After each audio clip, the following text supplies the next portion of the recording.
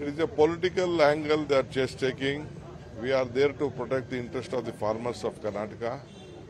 We have appealed before the authorities. We will protect. No one should take the law into the hand. I appeal to them not to do any bandh or not. It is not. It will not be justified.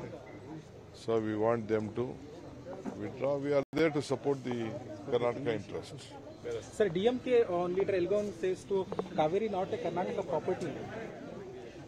Of course, it is not. A, it is the property of the entire South India.